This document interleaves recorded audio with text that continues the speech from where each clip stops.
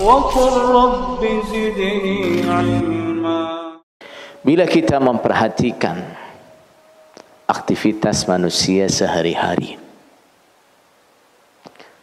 sebagian dari mereka sibuk dengan dagangannya, sebagian sibuk dengan pertaniannya, sebagian sibuk dengan ternaknya, sebagian sibuk dengan bisnisnya. Semuanya sibuk. Seakan-akan mereka tidak ingat lagi bahwa ada kematian yang selalu mengintai mereka. Seakan-akan mereka akan kekal di dunia. Padahal saudara sekalian, setiap kita sudah difonis mati. Semua kita sudah difonis mati.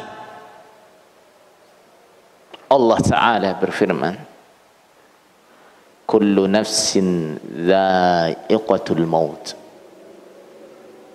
Setiap diri, setiap yang hidup, setiap yang bernafas pasti akan merasakan mati tanpa terkecuali. Akan tetapi kerasnya hati pengaruh gemerlapnya dunia membuat kita seakan tidak ingat lagi akan kematian itu. Membuat kita seakan akan hidup selamanya di dunia. Bila kita ditanya kapan kita akan mati, tentu tidak ada yang bisa menjawab. Karena itu adalah rahasia Allah. Yang jelas saudara sekalian, semakin bertambah umur kita, berarti semakin dekat kematian kita. Diceritakan Fudail bin Iyad rahimahullah, salah seorang ulama tabi'in. Dia bertemu seorang laki-laki. Lalu dia tanya, "Kam umruka?" Sudah berapa umurmu? Dia jawab, Situna sana.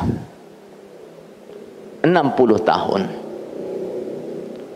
Kemudian Fudail berkata, Idan berarti anta engkau mundu sittina sana semenjak 60 tahun tasiru ilallah berjalan menuju kepada Allah berarti sudah 60 tahun kau berjalan untuk menuju pada kematian berarti sudah 60 tahun kau berjalan sedikit demi sedikit untuk mendekati kematianmu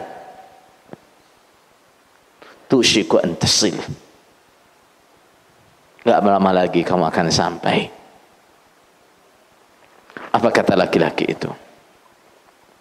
Inna lillah wa inna ilaihi rajiun. Kalimat apa itu? Kalimat yang diucapkan oleh orang Islam ketika dia mendapatkan musibah. Musibah apa saudara sekalian? musibah kita bukanlah kematian. Musibah kita bukanlah habisnya umur. Musibah kita adalah ketika umur kita semakin habis. Hari-hari kita lalui. Bulan demi bulan kita lalui. Tahun demi tahun kita lalui kebaikan kita tidak bertambah. dosa kita tidak berkurang itulah musibah kita. Maka ketika dia diingatkan oleh Fudail bin Iyad berarti selama 60 tahun engkau berjalan menuju kematian. Selama 60 tahun engkau berjalan terus mendekati kematian. Dia istirja inna lillahi wa inna ilaihi raji'un. Selama ini saya lalai. Fudail pun bertanya hal ta'rifu ma'naha kamu tahu enggak artinya inna lillah wa inna ilaihi raji'un. Tahu enggak apa artinya itu?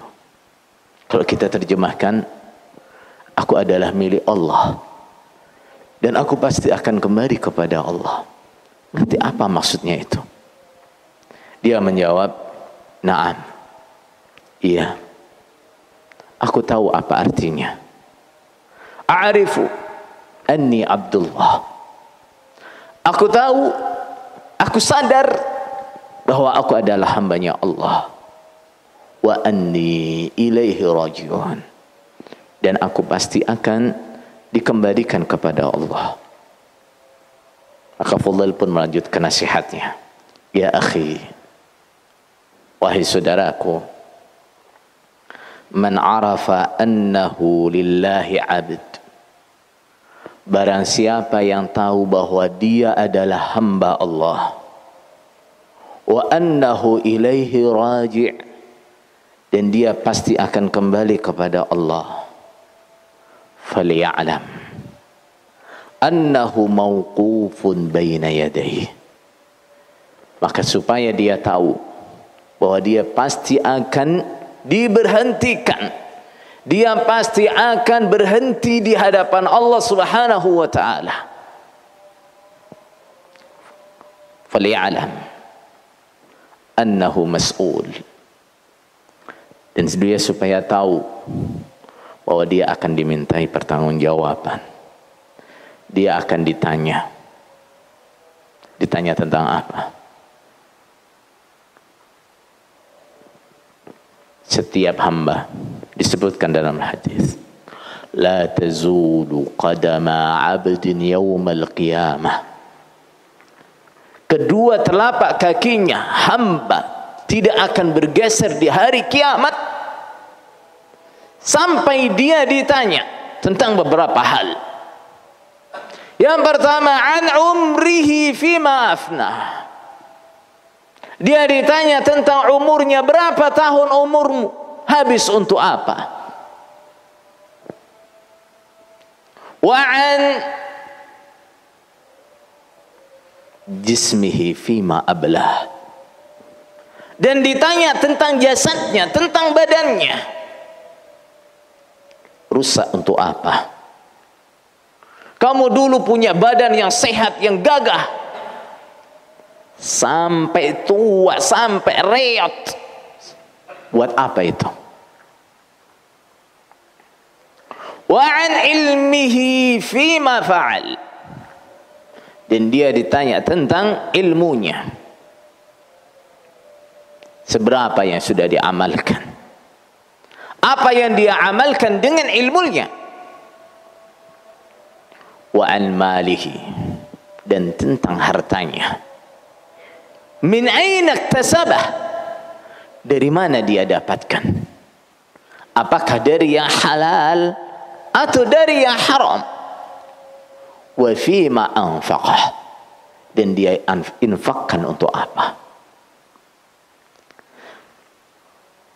Setiap orang yang meyakini bahwa dia akan kembali kepada Allah dia juga harus menyadari bahwa dia akan dimintai pertanggungjawaban. Bahwa dia akan ditanya. Wa man alima annahu mas'ul falyu'idda lis-su'ali jawaba. Dan barang siapa yang tahu yang sadar bahwa dia akan ditanya maka supaya mempersiapkan jawabannya Saudara sekalian, jawaban kita di hari kiamat Bahkan jawaban kita sejak di alam kubur bukan apa yang kita hafalkan di dunia. Tapi apa yang kita yakini dan kita amalkan selama di dunia itulah jawaban. Kita tidak bisa mengarang jawaban di sana. Bila kita beramal saleh, maka jawaban kita akan benar. Bila perilaku kita benar, jawaban kita otomatis benar. Walaupun kita tidak menyiapkan, saya nanti kalau ditanya tentang harta saya akan saya jawab begini-begini. Kalau saya ditanya tentang ilmu saya akan saya jawab begini-begini. Tapi dengan amalan itulah kita akan menjawabnya. Wa man alima annahu mas'ulun falyu'idda lahu. Barang siapa yang tahu bahwa dia akan ditanya, siapkan jawabannya. Jawabannya dari mana? dari amalan kita. Oh ya.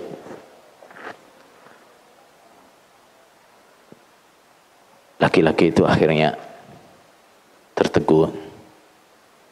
Seperti bingung. Dia tanya kepada Fudail. Famal hila. Lalu apa hilahku? Apa yang bisa aku upayakan? Qala yasira. Mudah sekali. Solusinya mudah. Apa solusinya? Qala tusinu fima baqiyah. Engkau berbuat baik di sisa umurmu. Yaghfirullahu laka ma qad madha wa ma baqiya. Maka dosa-dosamu yang telah lewat Allah pasti mengampuninya. Tapi fa innaka in asata fi ma baqiya jika engkau berbuat jelek tidak berbuat baik di sisa umurmu ukhitta bima madha wa ma baqiya maka engkau akan dihukum engkau akan dihisab dengan dosa-dosa yang telah lewat dan dosa-dosa yang masih tersisa saudara sekalian itulah kematian. Kita tidak tahu kapan akan datang. Yang umurnya sudah banyak, belum tentu dia yang akan mati duluan. Yang umurnya masih muda, belum tentu dia akan mati belakangan. Yang sudah sakit-sakitan belum tentu dia yang duluan mati. Yang masih sehat-sehat belum tentu dia yang terakhir mati yang jelas mati akan datang dengan tiba-tiba. Fa jaa ajaluhum la yastakhiruna sa'atan wa la yastaqdimun. Ketika ajal itu telah tiba kita tidak bisa mengakhirkan sebentar pun dan tidak bisa memajukannya. Yang jelas malaikat maut tidak akan permisi terlebih dahulu ketika mencabut nyawa kita. Malaikat maut tidak akan memberi kita pemberitahuan terlebih dahulu. Fulan, kamu akan mati besok. Fulan, kamu akan mati lusa. Tidak. Dia akan datang ketika waktunya kita mati. Maka saudara sekalian, bersiap-siaplah. Bersiap-siaplah. Kita tidak tahu kapan waktunya kita datang.